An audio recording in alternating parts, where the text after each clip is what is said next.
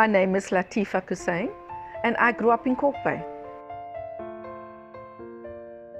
The first people that arrived here basically was the Dutch because this was like a transit uh, uh, uh, spot where goods was transported to Simonstown. The roads weren't good, so what they did, they kept the stores here in Kalk Bay and then they used to use the little ships, boats, to take it around to Simonstown.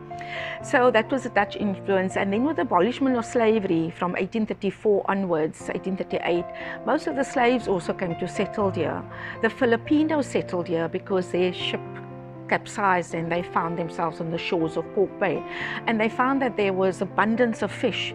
And um, so it was people also from St. Helena Bay. This was like a fishing community. And um, the people that we that lived here, they many have sort of um, uh, sort of interracial ancestors, you know, Italian, Filipinos, the Dela Cruzes, the Irispis, the Gomezes, us the Cozyns, we from Java, and um, and then we had also many Afrikaans and and and, and British people. Our neighbours were our neighbours were Italian. Some of them were from from London, from Kent in, in England, and um, but this was like a grey area, you know while everybody was living apart during apartheid, Bay lived in harmony. We didn't see each other in a color, uh, uh we didn't color each other in.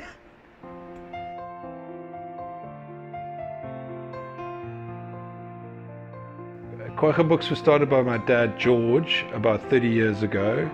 Uh, he'd been a fisherman, uh, had a boat in the harbour for a number of years and was finding it increasingly hard. So he started dealing in junk basically, and it developed into this bookshop.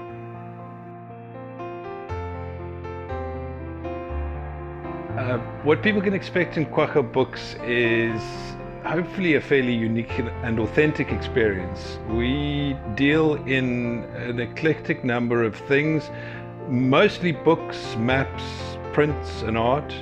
Um, but pretty much everything we have is original and hopefully interesting and unusual.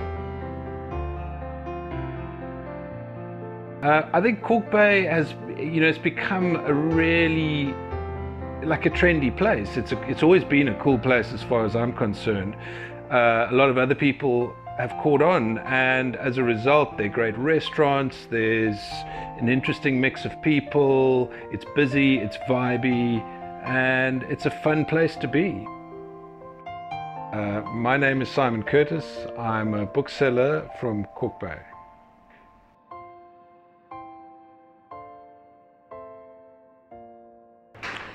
Brass Bell is an institution in Cape Town, uh, been around for 40 years this year. So the building itself, the original one, was actually a swimming pavilion, and that goes back to 1936. Yeah, the cuisine's broken up into predominantly seafood, uh, it's obviously our, our standard fare. Uh, from hake calamari, seafood platters. Uh, we have off offerings of ribs, burgers, uh, and pizzas. Uh, my name is Gary Riley. I'm the general manager of the Brass Bell. I think uh, the, mo the, most thing that I enjoy about running this guest house is the people itself. As it's such a beautiful village, it attracts a certain kind of guests and these are almost, almost nice people that you like to work together with. So that makes it so special. So um, I think originally the, the main house of the guest house was the mayor, as much as heard, but then it was converted in Chartfield Hotel. I think in that time when this hotel was here, there was about uh, 28 hotels in the False Bay site in Muizenberg up to Simonstown. One of the more famous ones was uh, New Kings Hotel, which is just next to us. That used to be the sister hotel of the Mount Nelson. Well, the nice thing about Kalk Bay is we have uh, almost no franchises. I hope that's going to stay that, like that. We have very unique restaurants, unbelievable unique, unique shops. We have a bakery.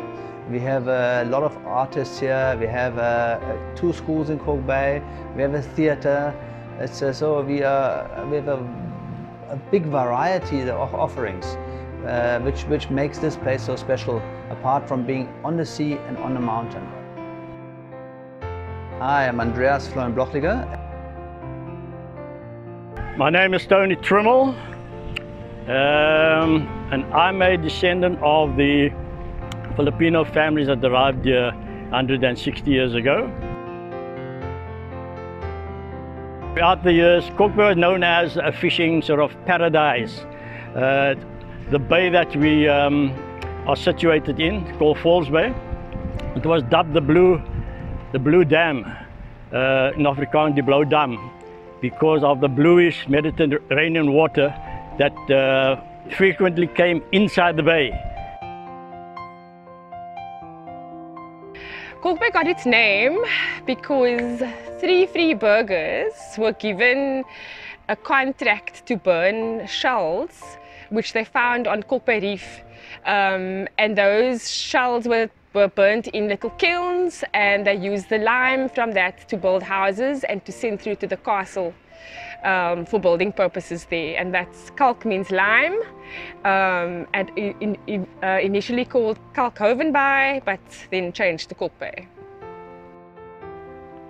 My name's Traci. I come from a, a family of seafaring men um, in Kalk Bay. My family have lived here for since the 1800s.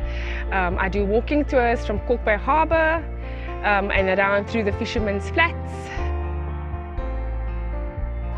Kalk Bay is the same quaint fishing village that it's always been since the 1800s. You can still come to Kalk Bay and go to the harbour and support the fishermen by buying a fresh, filleted fish.